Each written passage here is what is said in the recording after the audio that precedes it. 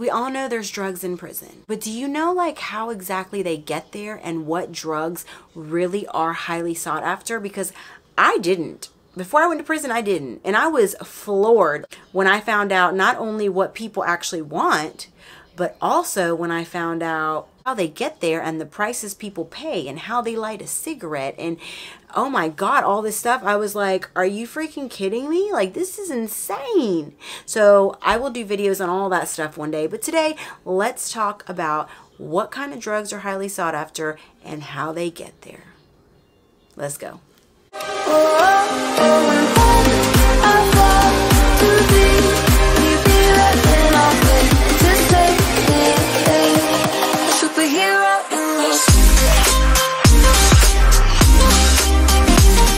Hello, my YouTube friends and family. Boy, do I have a good one for y'all today. Okay, listen, I'm going to jump right into today's video. I am not going to go into all the pleasantries and all the whatever.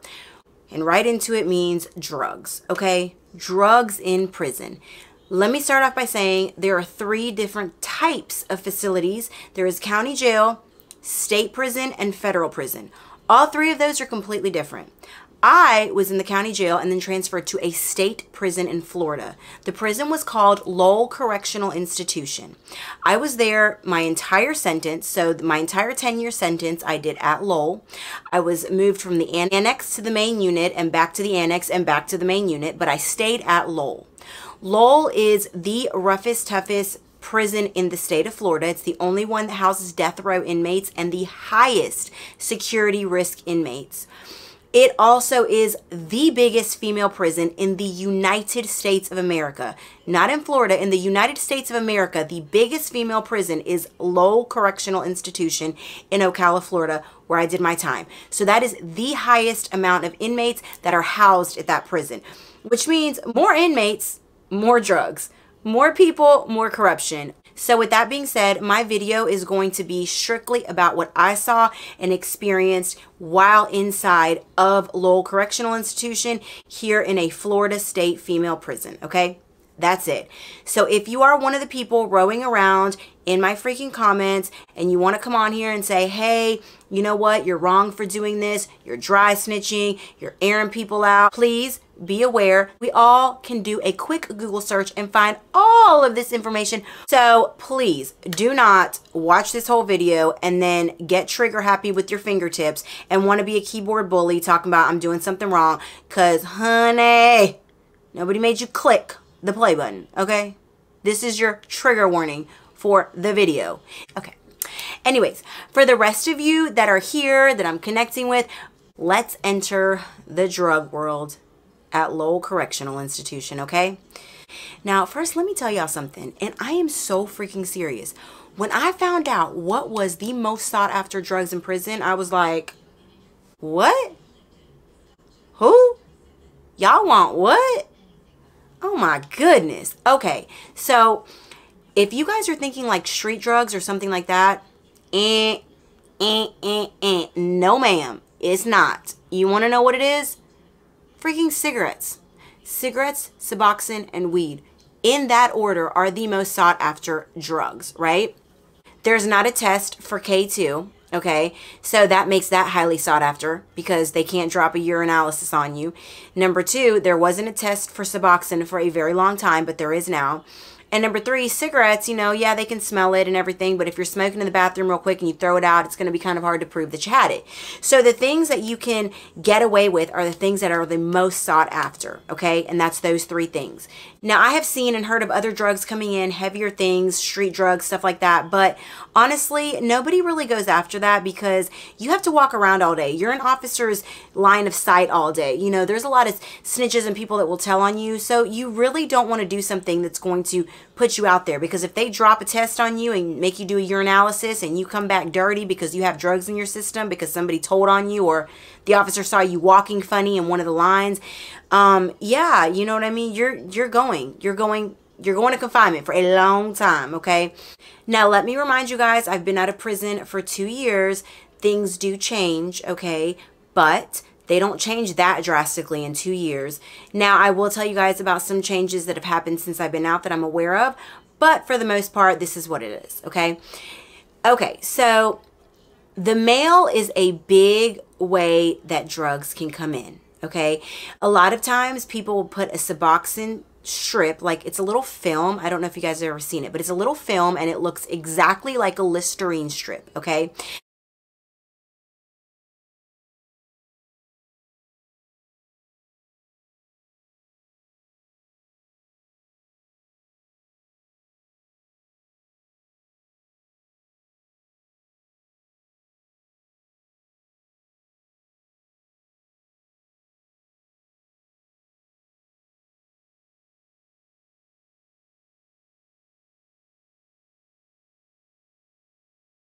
So people get clever, man.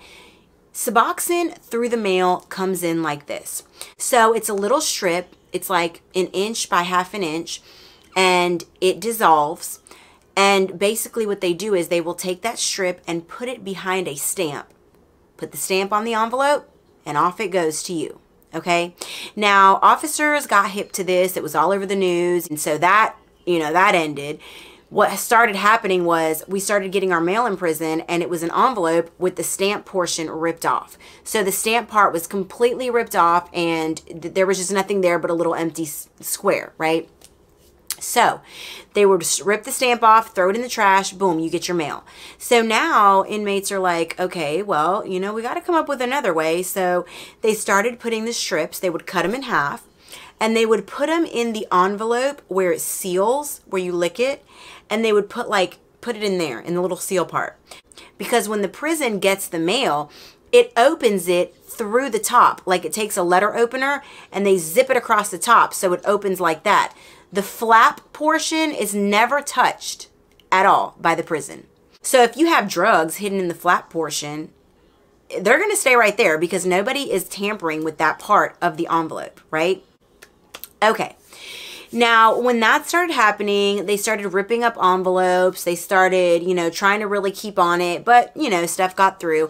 So now what started happening is people started to actually spray papers, cards, you know, anything that they were sending, spray it down with THC liquid or, you know, dip it in acid, dip it in whatever drug they wanted to send.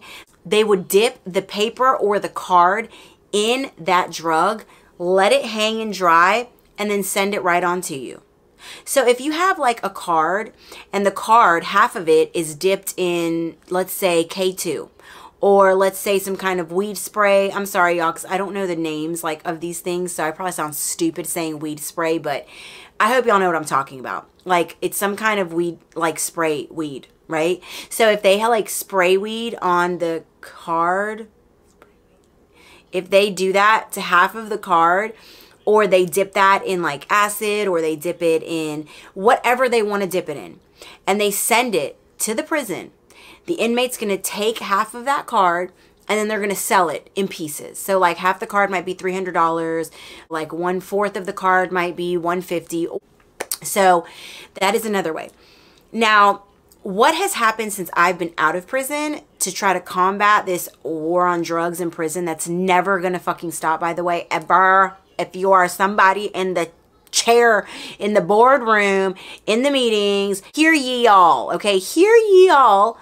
It's not to stop y'all can please waste your time on trying to figure out how to make the little bottles of shampoo or the bars of soap just a smidge bigger. Because personally you're wasting your time on the war on drugs. As long as there's male officers in there and as long as there's female officers in there there's going to be drugs. Okay?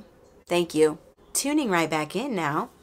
So okay what has happened since I have been gone and out of prison is that now they are no longer allowing mail in at all, right? Which is total bullshit because I know you're in prison and I know you're like suffering your punishment and this is the consequences of your actions and so on and so forth. I get it, okay? I get it. I'm fine with it. I can vibe with that. I'm here for it. But what I'm not okay with is the fact that maybe the person that you were when you committed that isn't necessarily the same person that you are 10 years later. I know that because it happened to me. If that's the case, and you're somebody like me who had a child while I was incarcerated, by the way, I gave birth to my son while I was incarcerated. You can go watch the video if you want. It's the one right before this. It's called I Gave Birth Behind Bars. Um, and so I never got to spend those first years with him. And while I was like, okay, this is part of my punishment, so I'm not going to like dwell on it and be pissed off, he used to send me cards that were colored. He used to send me pictures that he colored in preschool. I didn't get home till he was almost nine. So, like, those things were very sentimental and meant a lot to me and got me through some tough moments. And for that reason alone, like, I think it's really shitty that there's no longer mail in the prison. So what happens now is to combat the war on dr- the war on drugs, so they say. Um, they have eliminated mail and the mail actually goes to like this central hub and from there it gets scanned and then it gets sent to your email account which is through a prison through secure internet and wi-fi you can't we can't use the internet in there but it's it's like this mailbox that you have and now your mail goes to that so that is how you view your mail now. So if your child sends you a picture or a happy Mother's Day card or happy birthday or something, they're going to scan it. They're going to send it to you on your email account. Now, if you don't have money to print it because you can pay 25 cents to print that picture, that card, that whatever, the letter, you can print that for 25 cents. But if you don't have money, you're just out of gas. Like you literally just will not ever have anything tangible from the free world. Like, it's just not going to happen. And bullshit, but whatever. Anyways, so they have eliminated the mail and therefore now they're war on drugs. They think that they have really done something and put a damper or put a little freaking, um, what's that word? A dent. Damn. Do y'all see how long it just took me to think of the word dent? That is so sad. Oh my God, I need some vitamins. Okay. They think they've put a dent in this whole thing, in this whole system in war on drugs, but baby, I'm here to tell y'all, honeys, it's not, it ain't happening. Okay, it ain't happening. So, moving right along from the mail, we're going to go to the next way that is most common, um, and that is through human beings. Okay, now through human beings means two things. There's two kinds of human beings that an inmate comes in contact with, and that is the people that visit them and the staff that works at the prison. So obviously, yeah, you can, you know, get your family members to bring it, but you interact more with the staff every day. And if you are a decent human being, you shouldn't be asking your family to bring it anyways, because that's just a real shit thing to do. But whatever. That's a horse of a different color, and I don't have a dog in that fight, so whatever. But I will tell you this if you have somebody, a loved one, a friend, a family, whomever, bring it through visitation. Usually, if it comes through visitation, it's going to be a drug. It's not going to be like a soaked piece of paper or anything like that. It's going to be weed. It's going to be Suboxone. It's going to be cigarettes. And usually cigarettes is like the most common. Now, another thing that you can do to get drugs in prison is you can have money snuck in through the visitation and then therefore you can give it to staff members and get them to get you the cigarettes or whatever else, right? So it's all the same process though. Whether you're sneaking in money or sneaking in drugs, this is how it's coming in, okay? When family or friends or whomever comes to visit an inmate, usually the inmates, because inmates are just conditioned, our minds are conditioned to watch everything, to know the staff schedule, to know the routine of the staff members, to know when they look happy or down, to know if something's going on with them or not. So we know, okay, this weekend at Visitation, which is called VP, this weekend at VP, it's going to be this crew, okay? This crew is lazy. They don't want to do shit. It's the weekend. They want to sit back and chill. So they're not searching very hard. And when you're in there, they're not watching very hard, okay? Usually you pick a good weekend where you know the staff is lazy and sorry. And by saying that, let me just say this. It's not even that they're lazy and sorry. It's that they're overworked and underpaid by the state. They are getting paid shit peanuts to deal with a bunch of assholes because 90% of the freaking inmate population are pure assholes that are trying to manipulate you and get over on something. So you're dealing with assholes all the time, day in and day out, who usually have a motive for whatever they're doing, and you have to sit there and try to peep it and be on your toes, and it's probably exhausting. And for nine or ten or eleven dollars an hour, that has to be exhausting, okay? So, anyways, when you realize that it's a good weekend to be able to sneak in whatever you want to sneak in, you will tell your loved one who's coming to visit you, number one, cut all of the filters off of the cigarette. The filter is not necessary. It adds extra height, extra weight. It's it makes it more bulky. So cut all of the filters off of the cigarette, okay? Get them to saran wrap a pack of cigarettes with no filters. It's like the circumference of a banana. And, you know, girls can tuck that. Girls can tuck that into their purse. And I don't mean an actual purse. We don't have purses in prison, okay, y'all? They're vanilla or chocolate wafer. Their suitcase, Y'all know what I'm talking about, right? Wait, that's a W. they're they're this, okay? So girls can tuck that in there. I mean, if you can push a baby out when you're fully dilated, you can damn sure get something that's the girth of a pickle in there, right? Y'all get out that damn gutter. So, okay. We're all on the same page, right? Okay, I want to make sure. Okay, so to understand why it's easy to sneak things into the prison, first you have to understand what visitors actually go through when they're coming in, okay? Now, like I said, every prison is different, every state is different, but here in Florida at Lowell, this is what happens. You will take your shoes off, you'll take everything out of your pockets, you can't bring purses in, you can't bring anything in. Anything that you bring in has to be in a clear plastic bag. So you literally can only bring in a key a driver's license or identification and $50 is the maximum. Okay. Now you can bring that stuff in and you can put it in a clear Ziploc bag and have that, but you can't bring in any sort of carrier or purse or fanny pack or anything like that. So basically, the thought is that when you empty out your pockets and empty everything out, that's all you should have. That stuff goes through an x ray machine, kind of like at the airport.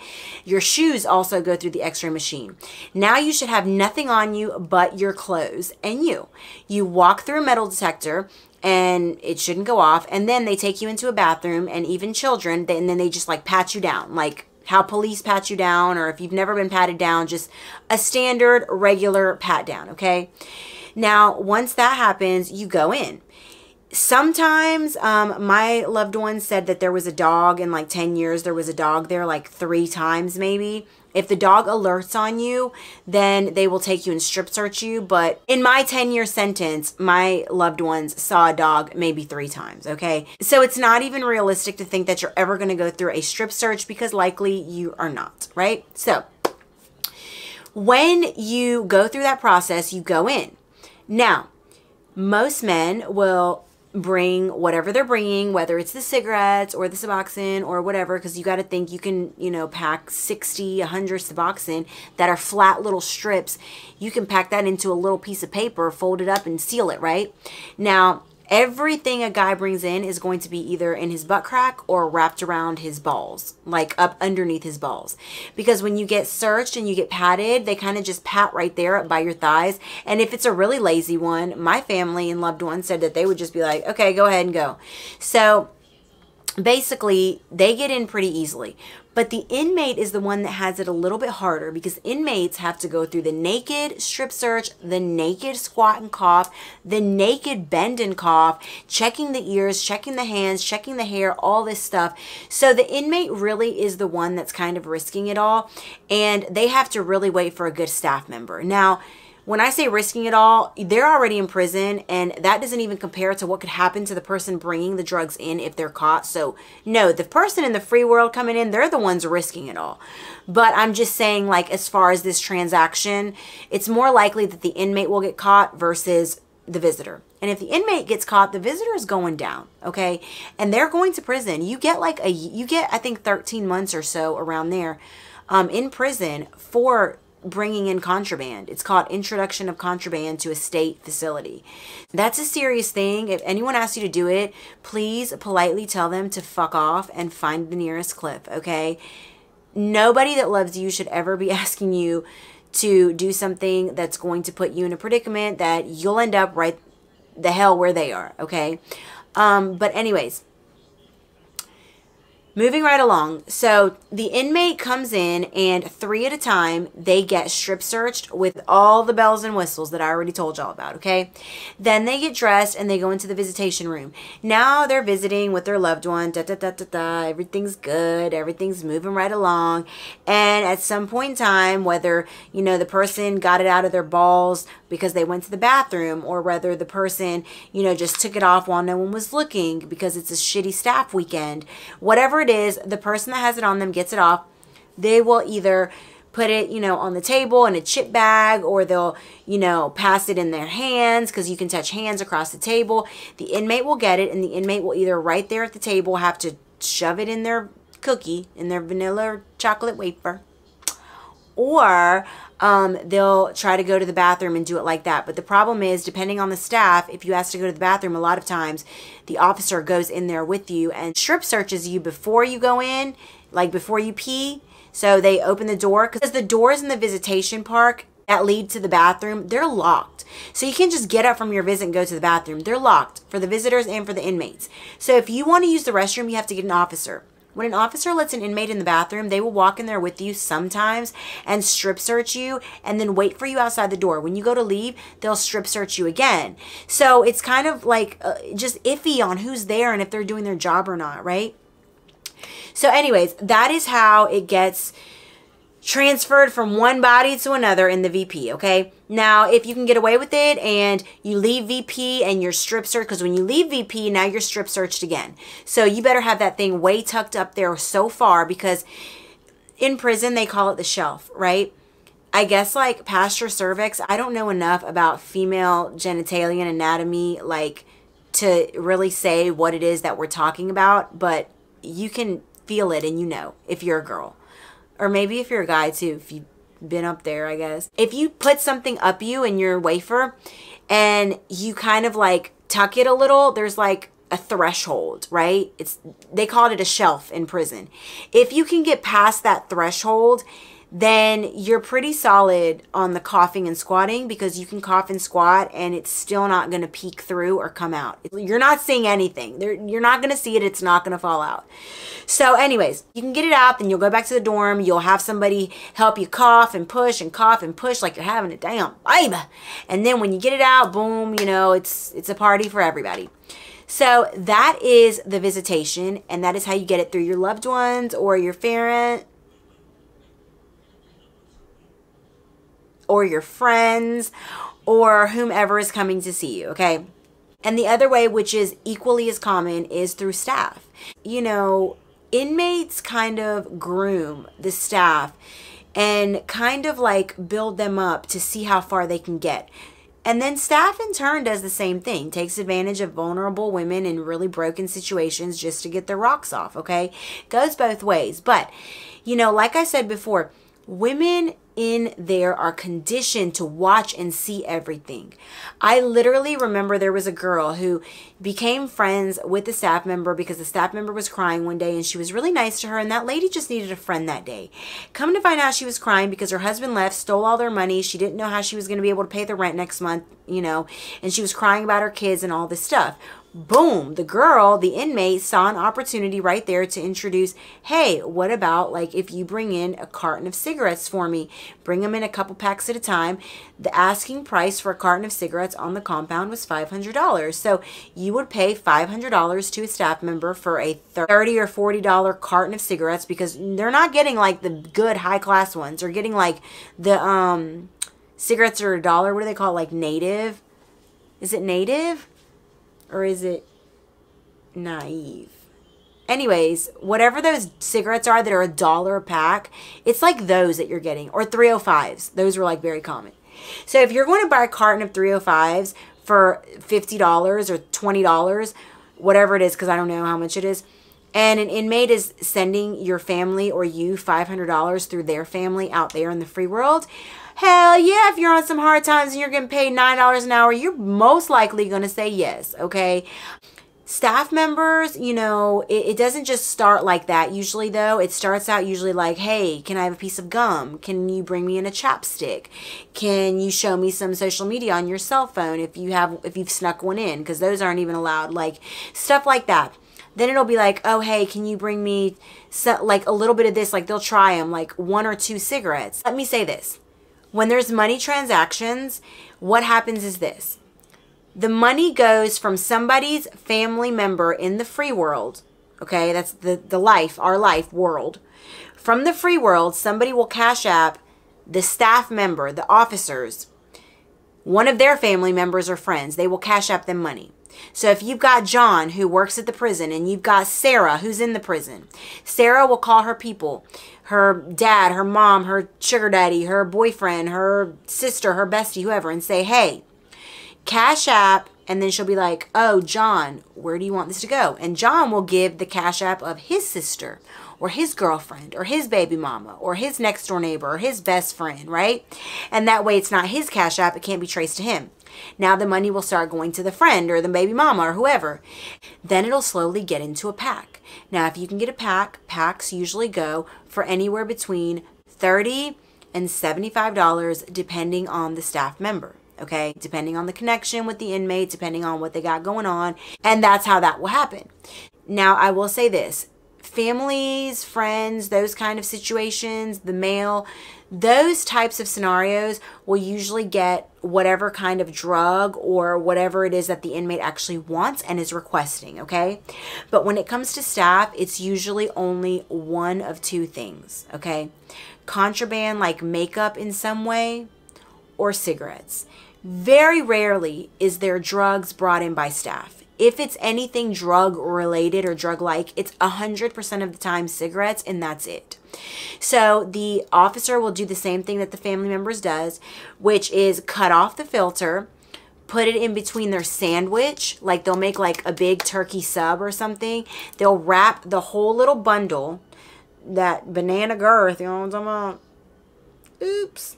Okay, so the banana girthed cigarette roll, they will take that, they'll wrap it in saran wrap real tight, they'll put it inside of like a turkey sub, they'll close the sub, let all the cheese and mayo and everything hang out, and nope, they do search their lunch boxes because that's all they're allowed to bring in.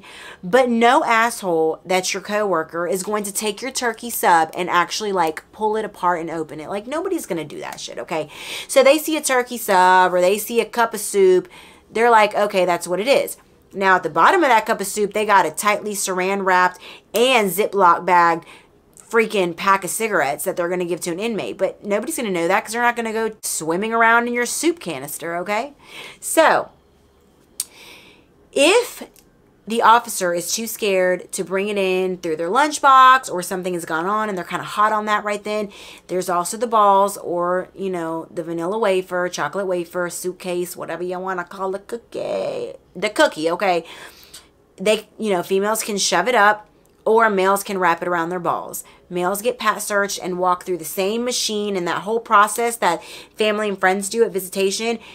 Officers also do that when they come to work every day, but when you're doing that day in and day out, like they slack. Okay, let's just be real. So, yeah, they put their shoes through the, you know, machine maybe 3 times a week or maybe they have staff and they're new and they do it every day. I don't know. Staff members know how to get around it just like inmates know how to get around it. They know, "Oh, this strict person's working today that's going to search the hell out of me." Versus, "Hey, this person that doesn't give a damn is working today. They're not really going to search me." Staff knows that as well. So what will happen is they will pick a day when basically there is really loose and relaxed staff, okay? Their shoes, their balls or cookie wafers, or their lunch, okay? And that's pretty much how that goes. Now, there's no cigarettes allowed in prison. That was banned back in like I think 2010 and staff is not allowed to smoke on the prison either but they do it every single day so it's nothing for them to like get a cigarette out and just like give it to you if you're trying them and you're trying to see like how far you can get. It's like nothing for them to give you like one cigarette. If you can get one cigarette from them, know you're in there. Take off, baby girl. About to make some money. So, anyways, moving right along and i'm so sorry guys i just want to say this one thing if you guys hear my son telling my dog to like sit or come or something um, or you guys hear the tv it's summer and i'm a mom so this is my life and i'm sure that a lot of you understand but i'd rather have this than be without this okay so just saying mom life hashtag Half, hashtag, yeah, that's cute, Jen, cute. Okay, so that is how it works with staff members. Now, staff members is not exclusive to the officers. Remember, guys, there's medical staff there. There's like the medical assistants, the nurses, the people that, you know, come and do church services and volunteers. Lord, forgive me because I am not saying that the church people are doing that because I don't know that they are. Okay? I'm just saying. But I wouldn't be surprised because Lord only knows, and literally, Lord only knows all the things that go on. Okay. So when inmates, you know, weasel their way in with officers, they can do the same thing with medical staff or with any kind of other staff. They can figure out are they having a bad day? Are they having money problems? Were they wearing their wedding ring last week and now this week they're not wearing their wedding ring and they're flirting with people? Hey, you know what? I saw them crying earlier and their lunch is a ramen noodle soup. Are they going through something? Like, Inmates are conditioned to pay attention to all these things and put two and two together to figure out what's going on in your life so that they can connect with you. And that's it. It's all manipulation and game, okay? Now, we've gone over mail, we've gone over human contact, which is either through visitation with the inmate or through any kind of staff member, you know, and then putting things in the body cavities and all of that. We've gone through that. It's worth mentioning that those are really the only two ways. However, there are some crazy things like drones, okay? There have been drones that have flown around over the prison. We never knew what it was that they dropped. They never told us. Nobody ever got in trouble. But yes, drones do fly over the prison. And if they fly over the prison, the prison will get locked down as soon as a staff member spots it. But hell, by now, they have all these little drones and all this shit. It could be over there just raining little you know, sprinkles of cigarettes and little weed baggies and shit. Like, could you imagine just over the prison? Dee, dee, dee, dee, dee. I, could, I don't know, but I'm sure that like now with technology, it's something crazy. When I was there, they had the big drones. They would fly over the prison, and as soon as somebody would spot it, boom, the whole prison would be locked down until they could get it under control and either out of the prison like area, the airfields, or um, they could figure out what the hell was going on. But that has happened, okay? Now, also, there are work camps. Work camp is a place where the inmates are housed there and are usually at the end of their sentence or have a very low level of custody and housing, which means that most likely they're not a threat to society. And if they are let out with society, but still in custody to work that they won't actually be, you know, a danger and they won't jeopardize anybody's life or anything like that. So when you see those road crews on the side of the road, when you see people at recycling centers working, when you see anyone digging ditches or picking up trash, those are prison work camp crews. Now, some of them might be county jails, but usually it's a prison work camp crew. And when you get transferred to a work camp, it's much more lenient because you go outside of a gate right? Now, let me say this. I have not been to the work camp, so I don't know. I'm this part I'm only going off of what people said because the work camp and the prison I was in, they're right next door to each other and people would come back for getting in trouble from the work camp all the time and tell the stories. So I guess like some people work at places where they're going to be there every day for that week, let's say. Or the officer told them that, you know, either accidentally or purposely. I don't know if that's something that inmates are supposed to know, but inmates would know a lot of the time where they were going to be for the next week, let's say, right? So they'll call their family at home and say, hey, um, I'm going to be here, so and so, whatever. And, you know, yeah, the phone calls are recorded and they can hear it, but they have to be listening for that phone call. Like they have to actually look it up or just be listening to you that day.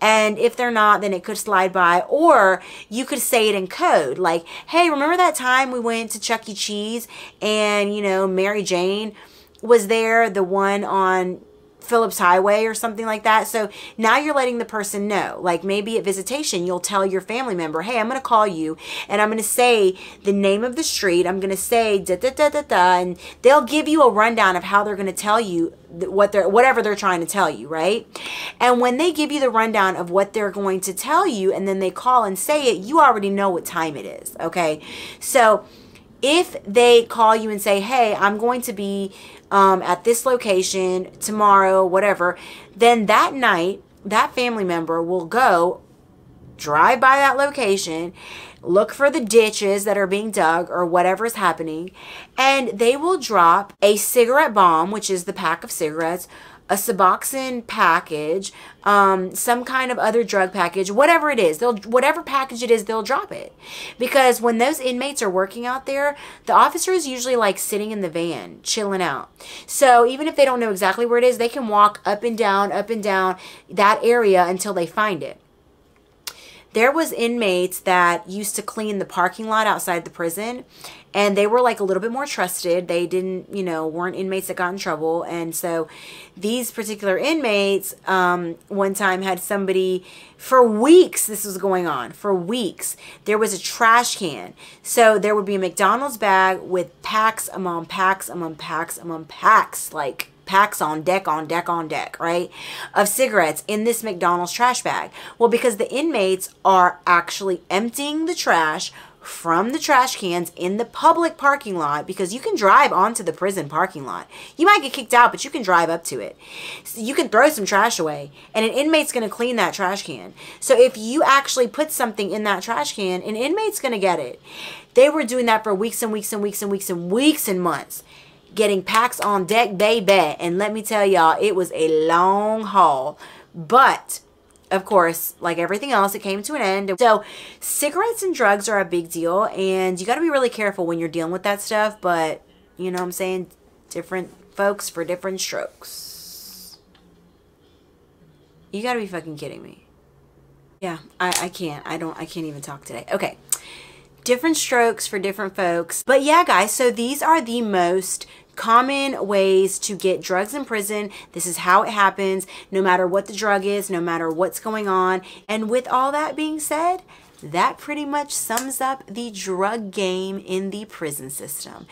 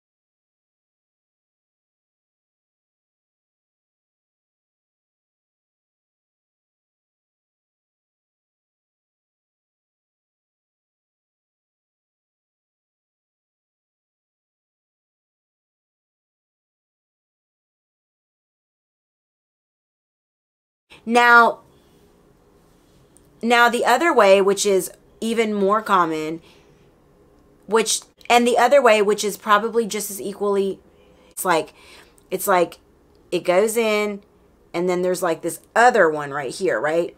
So it's like right here, and then like if it gets past this, then it's like sealed. Like you can open it, pull apart. You're just all the bells and whistles. Strip searched. So inmates. What am I retarded today? Oh my God. So it's very few that. So it's very. Now, basically, whoever brings it in, because when inmates because when family or friends are coming in to the prison, they get searched and they do get strip searched, but guys usually if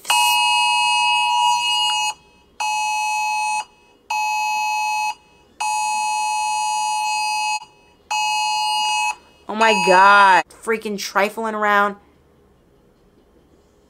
They're not going to go strip search and so you're dealing with assholes that are trying to do something to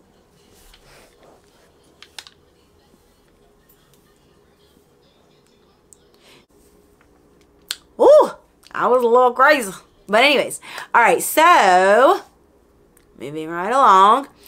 That is how that happens. And if usually they will wrap it around their balls, whatever it is, and usually that's like cigarettes or Suboxone. Um, it's like very By the way, if you haven't seen my video of I gave birth in prison, it's the one right before this. You can watch it. I gave birth to my son while I was incarcerated. I don't know why I just said prison. That was, like I said, in in 10 years, it was, well, in a, Nana, okay? I really, I, everybody's mind just went nasty there. I don't give a damn what y'all say. Everybody's mind just went nasty when I said the circumference. Because I was going to say girth, but I decided that it would probably just, everybody would be in the gutter at that point, right? So anyways, they will put that little strip behind a stamp. Now, when they put that little, a really common way to get drugs into the prison without really risking being caught physically is through the mail, right? Hear me. Hear me. Number one, there's not a test for fake. There's not a test for. There's not a. I am not here to and I, don't even care like PSA, sorry. Y'all already know I have like rabbit hole issues. Okay. Right back. Because when you tap that button, but when I say cigarettes and Suboxone, I am going to tell you guys. But when I say cigarettes and Suboxone, y'all, let me tell y'all.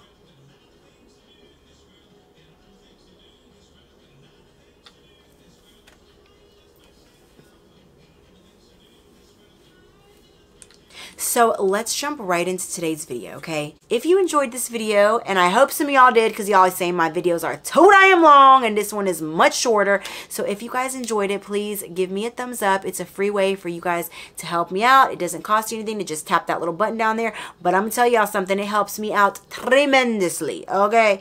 I have been commenting back and forth um, with a lot of people. If I don't respond to your comment right away, please bear with me because it's my son's summer vacation, so I'm with him doing a lot of stuff. I also work full time, so it takes me a while, but then when I sit down and go through them, I try to go through like a bundle, right? I don't get that many comments to where I can't answer everybody, but if I don't answer you right away, please know that I will. And if I somehow missed you, please don't feel like I just am one of those uppity people that isn't going to respond. I appreciate every single last one of you. I swear it, I do. Every one of you, I appreciate from the bottom of my heart. You guys got me to a thousand, and I cannot thank you enough for that. It means the world. I want to do this full time one day, and y'all are helping me. And thank you, and thank you, thank you. Okay, I love you guys, and I will see you guys in my next video. Okay, love y'all. I literally just got stuck on the wall. I'm not even shitting y'all. Look. Hello. Okay, I'm gonna go this way. Love y'all.